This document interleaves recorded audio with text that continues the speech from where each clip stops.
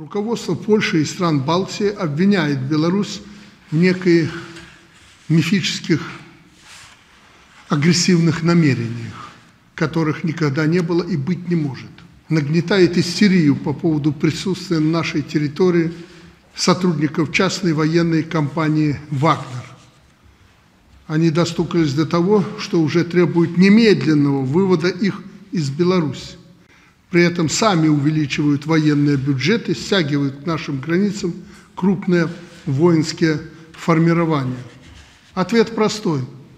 Ни в Польше, ни в Литве, ни в других странах Балтии не должно быть ни одного иностранного военнослужащего. Тогда можно и нам предъявлять претензии по поводу присутствия здесь военнослужащих из других стран. А пока это необоснованное и глупое